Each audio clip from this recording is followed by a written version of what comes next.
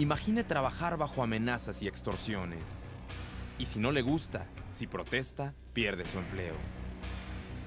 En estas condiciones aseguran estar los empleados de la delegación Iztacalco. Su salario no les pertenece.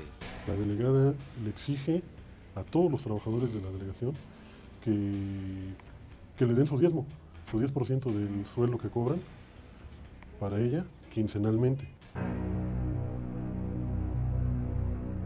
Carlos, trabajador de la delegación, cansado de ser extorsionado, levanta la voz e incluso revela las cantidades que sus compañeros pagan a cambio de conservar su empleo. Si tú tienes una jefatura de unidad, te pide 750 pesos aproximadamente. Si tú tienes una de subdirector de área, te pide alrededor de 1500 de diezmo. Y así sucesivamente, dependiendo del nivel que tengas.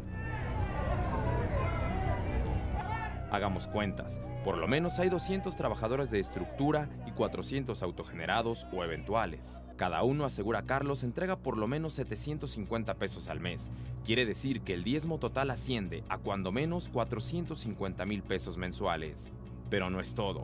Además del citado diezmo, Carlos dice que los obligan a participar en actividades ajenas a sus funciones como servidores públicos. La delegada Elizabeth Mateos eh, hace reuniones para el personal de estructura, convoca la reunión, por ejemplo, va a haber algún evento de, no sé, de Carlos Navarrete, convoca una reunión para presionar a todos los trabajadores de estructura para que lleven cierta cantidad de personas, cada trabajador.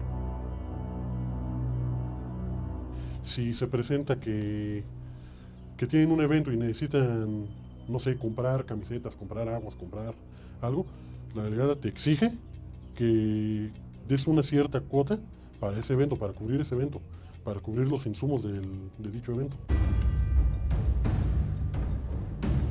De acuerdo con la Ley General de Instituciones y Procedimientos Electorales, está prohibido que un funcionario público participe en días hábiles en actos proselitistas. Esto tampoco parece importarle a la administración delegacional.